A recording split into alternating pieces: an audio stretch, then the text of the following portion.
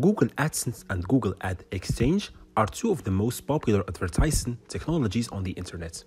Today, we will break down the differences between the two of them and figure out which of those two solutions is best to monetize your website. Before starting, I wanted to know that this video is sponsored by Hostinger.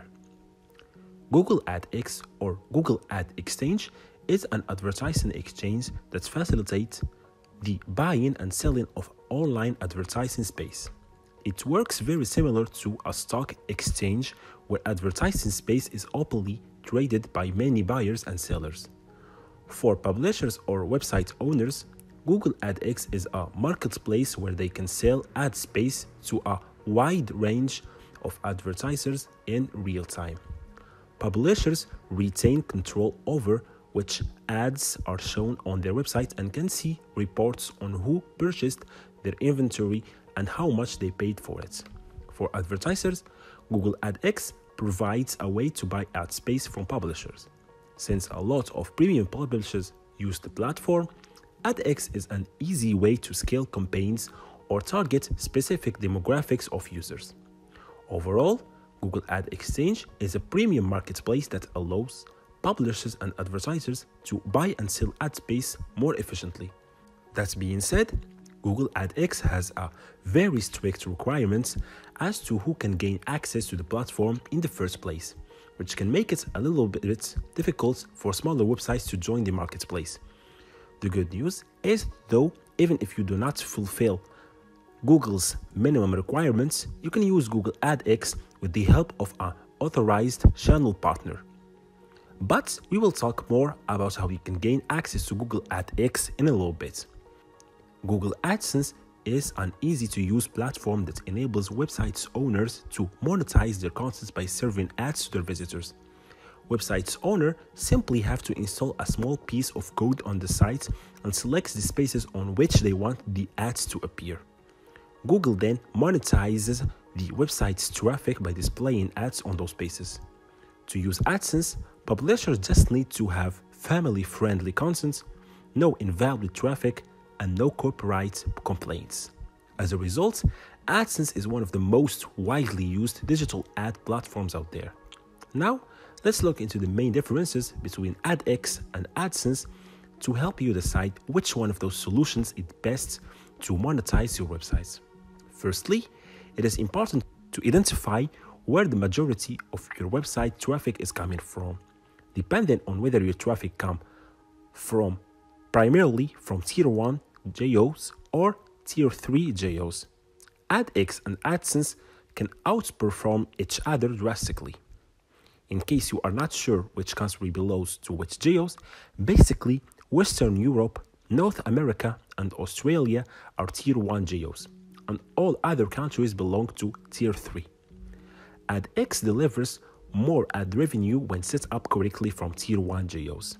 With an optimized dynamic flooring step, Google Open Bidding and preferred deals publishers can expect their ad revenue to increase between 10 to 60% when switching from AdSense to AdX. This is because many premium brands with large budgets run campaigns only through AdX. This doesn't only result in more ad revenue, but also better ad quality in general. AdSense is best for Tier 3 geos and almost always outperforms AdX in those geos. This is because AdSense has a very strong demand from small local businesses in these regions.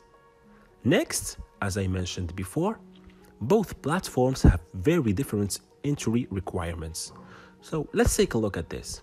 With AdX, publishers need to have at least 5 million page views per month before they can apply for direct access to the platform.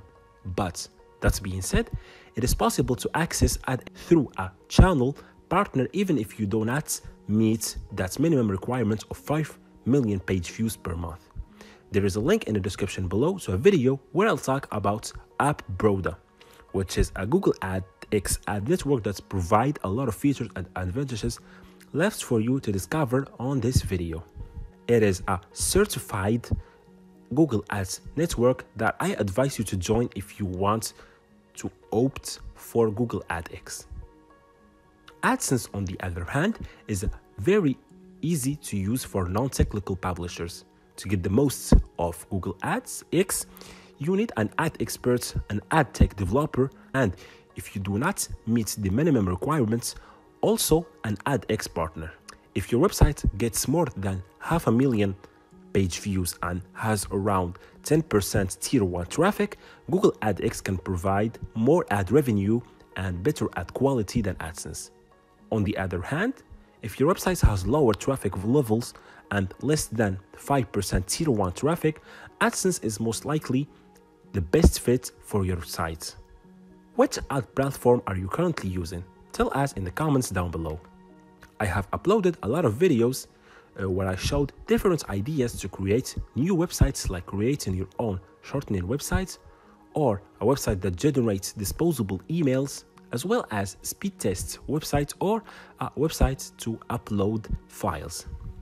These websites are a solid project ideas that you can invest your money in and get results when you put in the work. I'll try to make a showcase video where I will take a website, set it up, and start making money. In order to do so, first you need to get a hosting plan. For this, go to Hostinger. Use my link down below in the description box in order to benefit from discounts. Here you can browse all plans starting from the single shared hosting plan with 1.99 a month, offering to host one website, less than 10,000 visits a month, and one email account. With Premium Sharing Hosting Plan, you get to host up to 100 websites, free domain, free SSL, and Google Ads credits to promote your website. And the plan I personally use is the Business Shared Hosting Plan. It costs around $4.99 a month and comes with a lot of additional features that I am highlighting. Here, choose the period. Don't forget to apply my coupon code GeekBlooging in order to get a 15% off. Uh, this is guys, so all the links used will be in the description box. Click the like button, subscribe with notifications on, and share this video with your friends. Peace out.